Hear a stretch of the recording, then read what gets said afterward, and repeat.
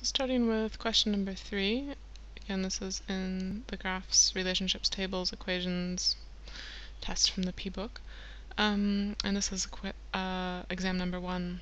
So the equation of the graph drawn below is this. They've given us an equation for this graph. Give the coordinates of all the intercepts x and y. So we need to find the coordinates here, here, and here. Our x coordinates here and our y-intercepts there. So we can use the calculator for this um, if you would like. So coming into menu and go to, we want to go to graph, number five. So exit back till you see where your equations are, and we can actually just enter in the equation as we see it. So bracket 3 minus x bracket bracket x plus 1 bracket enter. And we'll go ahead and draw the graph. Now if you don't see it very well, that's okay. Click on F3 for your window, and we'll just put in some values that might make more sense. So we'll do, I don't know, we'll try negative 6 to 6. Leave the scale the same. Um, leave all that the same, and our min, we'll leave that at negative 6, and we'll do, know, 6 again. See how this looks. So draw it up. There we go. Now we can see everything. Now again, it's really important if you're going to use the calculator for this that you actually can see all the intercepts and points you're looking for. So to find the x-intercepts, we're going to hit on gsolve again. And remember, x-intercepts are the roots so we see the first root is at negative 1, so when x is negative 1, y is 0. And to find the next one, hit the arrow over button. And we see 3. So our x-intercepts are when we have x is negative 1 and y is 0, and when we have x is 3 and y is 0. Remember, x first, y second, always. So we can write it in as points. And they want us to find the y-intercept as well. So we go back to gsolve, just hit it again, and we can see y-intercept right there, y ins however you want to abbreviate that. Click on that, and there's just one of them, and we see it's at 0 and 3, so our point is going to be 0, comma 3. So the y-intercept is at 0, comma 3. Okay. So give the equation for the axis of symmetry and the coordinates of the turning point. So we'll start with that. Turning point is your min or max. So in this case, that's our turning point. And if we want to find that in the calculator, we can come into here and we can find the turning point by clicking on gsolve again. And either max or min will give you the turning point. And in this case, it's a max because it's a peak. So we hit F2 for max, and there's our turning point. It's going to be at 1, comma 4. x is 1, y is 4. So that's our coordinates for it. Uh, it's going to be at 1, comma 4 is where we have the turning point. Now what do they mean by axis of symmetry? Not sure we've used that word before in class, but axis of symmetry is what they mean by kind of like having a mirror line. So if I want to imagine where there would be a line that I could draw on this graph, where if I folded it in half, I'd have the mirror image of it. So if I did this as my mirror line, just as an example, and I folded these two sides in half, this top part of the graph is not identical to the bottom part of the graph. So that's not going to be the mirror line. In this case, our line of symmetry is going to be vertical, and it's going to go through the turning point. So if I fold the graph in half on that red line, I'll get two mirror images of each other there. And we found that our turning point was on the point 1 comma 4. So how do we write an equation for this line? What is the value of x on that line? That's at 1, and that's at 4. And for writing the equations of these vertical lines like this, basically what we want to look at is does x ever change? It's 1 the whole time, so it doesn't matter where you are on this graph, what the value of y is, x is always equal to 1. So your equation is actually x equals 1.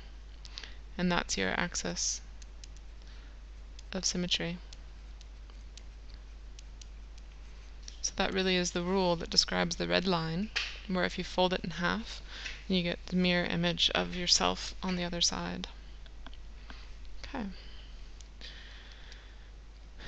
If the parabola is now moved 2 units to the left, 7 units down, give the equation for the parabola in its new position and give the coordinates of the y-intercept. Okay, so let's think about what we know. Um, we've got a parabola, and we've got the turning point at 1 comma 4, and we also have some other information here. We have this point is 3 comma 0, and this one is negative 1 comma 0, and we also found that this was 0 comma 3. So we've got four points on the graph. And so we can think about moving each of these if we wanted, and we want to go, in this case, we want to go down by 2, uh, sorry, down by 7 and to the left 2. So that would be kind of like moving this, going um, down 7, 1, 2, 3, 4, 5, 6, 7, and to the left 2, 1, 2. And that could be the new point, so we're going to transform that point over there. And one way we can find the equation for this is by using our calculator if we want. But first we want to get some information in a table that will be helpful for us. So let's write in the points that we had. We had negative 1 comma 0, 3 comma 0, and 0 comma 3. And there was also 1 and 4, our turning points. So if we imagine moving each of these points, we can figure out what we need to do. So to transform it, they wanted us to move to the left 2, so we need to go minus 2, and down 7, and minus 7. So our new graph is going to be, um, instead of at negative 1, it will be at negative 3, because I'm going to the left 2, I'm minusing 2 from that, and negative 7. And here I'm going to move from 3, minus 2 is going to be 1, and 0 minus 7 is minus 7. 0 minus 2 is minus 2, and 3 minus 7 will give us minus 4. 1 minus 2 is minus 1, and 4 minus 7 is going to be minus 3. So that's all new data points for us. That's points we can put into the calculator. So literally physically transforming those points. So if we come back up to stat, we can enter in these new data points. So negative 3 uh, 1, negative 2, negative 1. And filling in the other part of the table, negative 7, negative 7, negative 4, negative 3. Okay. To find our equation, we hit graph, we hit graph again, we should expect to see some sort of parabola because that's what we're dealing with. We're just moving it. So there we see a parabola shape and because of that we know it's going to be quadratic and x squared. So here's our information. A is negative 1, so we get negative 1x squared minus 2x minus 4. And r squared is negative 1, or r squared is 1, and that tells us that we've probably done our table correctly. Okay, so let's write out what we get for this equation using that information. So we have y is equal to negative 1x squared minus 2x minus 4. And you can write that as y is equal to minus x squared minus 2x minus 4 if you want. You don't have to put in the 1. Okay. Um, now there's a second format that you might actually have for this equation if you're using the transform. Oh boy. If you're using the transform methods and that would be this. y is equal to, um, moving the turning point, we will find that we would get, it's an upside down parabola, and it's going to be x plus 1 squared minus 3. And that comes from our transforms. The original parabola was here at 1 and 4, and we were going to move it to the left 2, so 1, 2 and down 7. So down to negative 3. So this is at negative 1, going from 1 to 0 to negative 1. And now going down 7, that will get us down to negative 3. So our new turning point is going to be down there. So we can use the points here. Negative 1, put in the positive here, the opposite sign, and the negative 3 because it's shifted down 4. Either equation will work. It doesn't really matter which format you've done, but just so you see that. Most of us have been using the calculator, using that method. Okay, and they want the position of the y-intercept, last thing that we need to answer before we move on. So to find that out, we can use our calculator. We can copy this equation into the graph function, Hit execute, and it should be there. So if we go to menu and graph, we see our equation, just like we wanted it. Go ahead and draw it. Again, if it freaks out on you and says error, don't worry, just type it in again.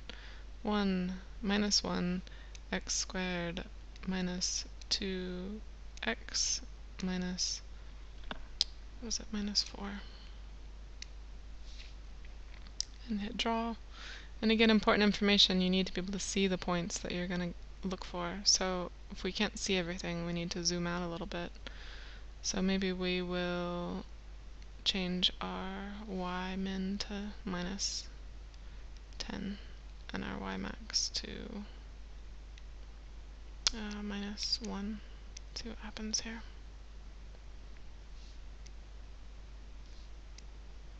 Hmm, still can't see everything, but that's okay.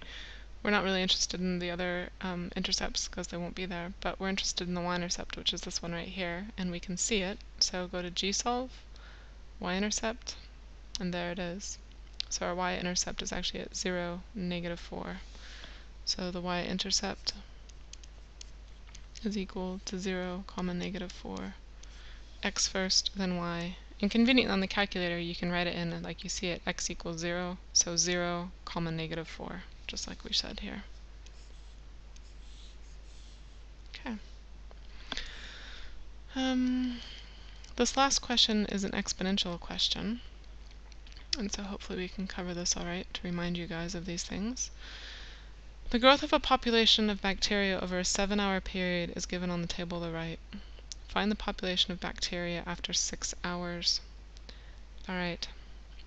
So first thing that we're going to check is what kind of differences do we have here. Looking at this, we have a difference of, uh, what do we have, a difference of 6, a difference of 18, a difference of 54. Okay, so it's not linear. We'll check again. What's our difference here? 6, what's our difference here? 18 minus 54. Oh, don't want to do maths in my head.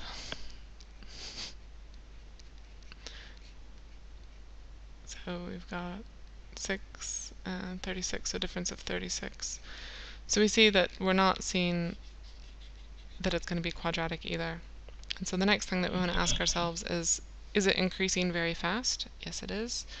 It's not linear, it's not quadratic, it's probably going to be exponential. So we need to think about how we remind ourselves about exponentials. So we'll go ahead and erase the first and second differences and think about figuring out, sorry, we want to keep the first difference on there. That's an important one. So that's 6, 18, and 54. So look at the first difference. And is there oops, it doesn't need to be here, but is there a pattern um, that uses timesing, multiplying? So is there some way that we can times something to get from 6 to 18 and then times by that same thing again to get from 18 to 54? So how do we get from 6 to 18? Well, that 6 times 3 is equal to 18. And then how would we get from 18 to 54? Well, conveniently, 18 times 3 is also going to work out 54. So we have times by 3 each time. So in this case, our question mark becomes times by 3 times by 3. And so this we're going to use as our base. So 3 is the base. And if you're not sure if it's a tricky one like 0.25 or 1.5, one way you can do this to figure out what the times is going to be is go 18 divided by 6. You get 3. And then do 54 divided by 18 and you'll get 3. And again, you'll find that it's the same. So you can take the first difference and divide it by the first difference of the number previous, and take the first difference and divide it by the number previous. So 54 divided by 18 gives us 3. 18 divided by 6 gives us 3. So we're timesing by 3 to go up here. So that's going to be our base. Um, so what we're going to need is an equation here. So this is going to be our, we'll call it um, time and our population. Remember it's always x first and then y. So we're going to say population is equal to our base, which is 3, times the time, which is our x. So our generic formula is always going to be y is equal to the base times the x plus or minus a constant. So we have our y, p, is equal to 3 times x, and it's going to be plus or minus some number. And we have to figure out what that is. So let's check. When t is equal to 1, what's p supposed to be equal to? p is supposed to be equal to 18. So let's see. When p is equal to 3 to the 1 plus something, it's supposed to equal 18. So 3 to the 1 is 3 plus something is equal to 18.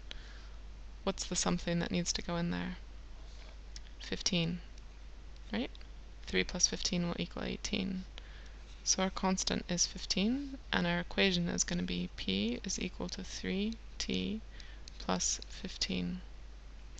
You could have a negative number, it doesn't always have to be positive, but this is going to be the rule for us.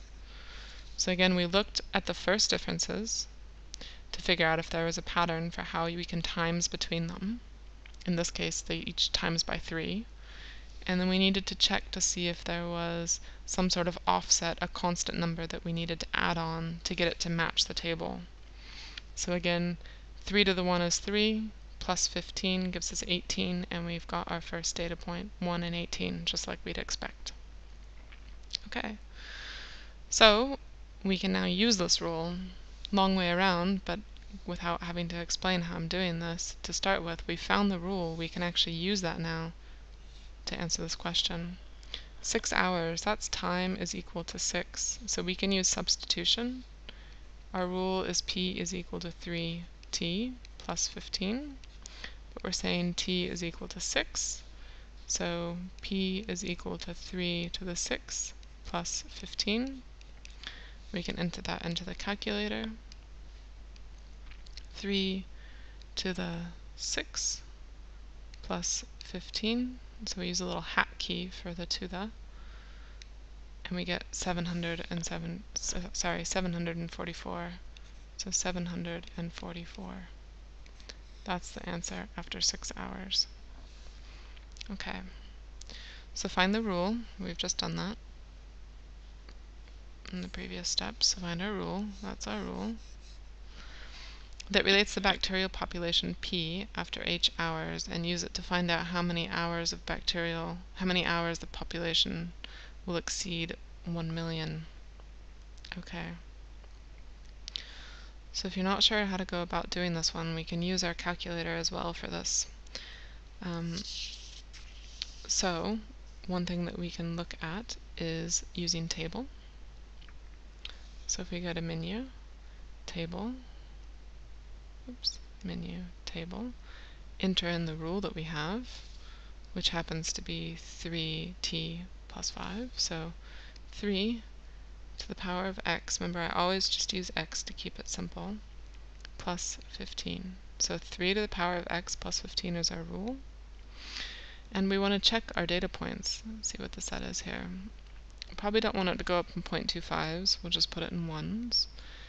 And how quickly do you think that that's going to reach 1 million?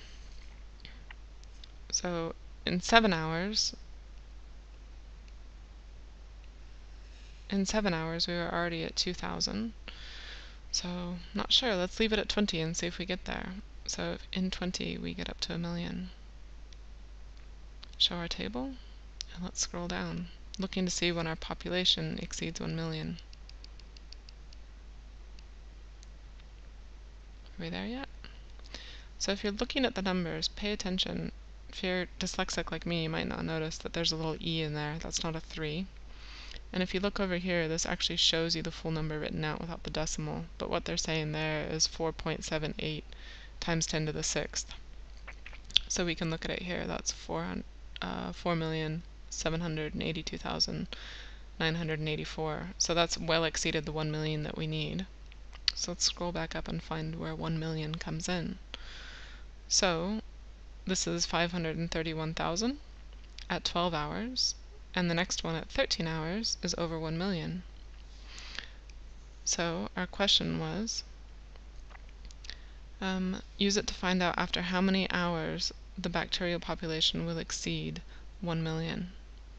Okay, so at 12 hours we're not over a million yet, but at 13 hours we will. So we could say at um, t equal 13, population is equal to, what was that again? 1, 5, 4, 9, am I doing it right? 1, 5, 9, 4.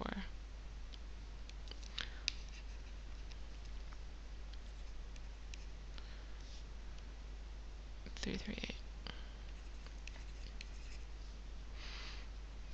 So after 13 hours,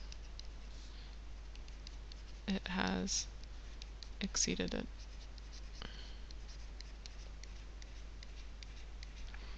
And if we want to be a little bit more precise about that, we can come back to this, exit, and we can set and put in a step of, let's say, 0.5 and look at that.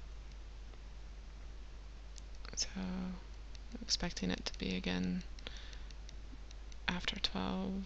So 12 and a half hours, it's not yet over 1 million, but just past that. And another thing that we can do to be really precise about that is use graph. So if we go into graph, we've got our rule, 3 to the x plus 15. Let's draw it. Again, don't freak out, just retype the rule. Draw. And I can't see it, so I'm just going to put in some numbers starting with 0, and we want to, uh, we know what happens before, or af before 13, so we'll put that in. Um, and let's look at, we don't need negative values. And a max of, well, we need over a million, so try that.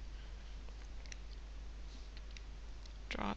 Okay, there's our graph. We can see it's exponential in shape, increases very rapidly. And if I want to know where 1 million happens, come into gsolve. And 1 million, I'm looking for a population of 1 million. That's my y-axis. So I'm actually wanting to find my x, so I can use xcalc because I'm wanting to find x. I know y of 1 million. And there's my x, 12.575. So we know exactly at 12.575 hours we have 1 million. So we can add that in here as extra information. So at t equals 12.575 hours, population is equal to 1 million. So after 12.575 hours. There's our answer.